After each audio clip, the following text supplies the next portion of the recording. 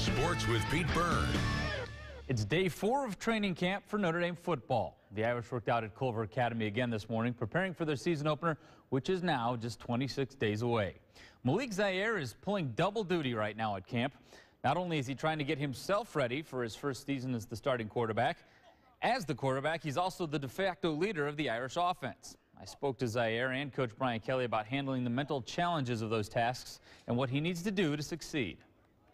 Mental standpoint is just staying in it and staying uh, consistent. I think uh, being in camp is a grind, and a lot of the time being in the grind, you is days where it's going to be hard to get up. But I think it's those those days where we really need to kick in gear and, and stay mental and, and continue to grind and and do have a good day for our team. He has a lot of thoughts going on and, and sometimes a little bit too much going on.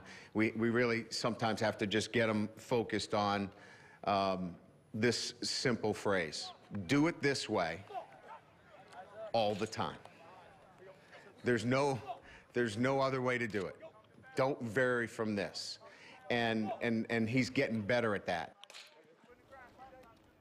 The Irish will have their final practice at Culver Academy tomorrow before returning to campus. Coming up tonight at 11 o'clock, we'll take a closer look at KeiVarae Russell, who's back after missing all of last season, and show you what his return will mean for the Irish defense.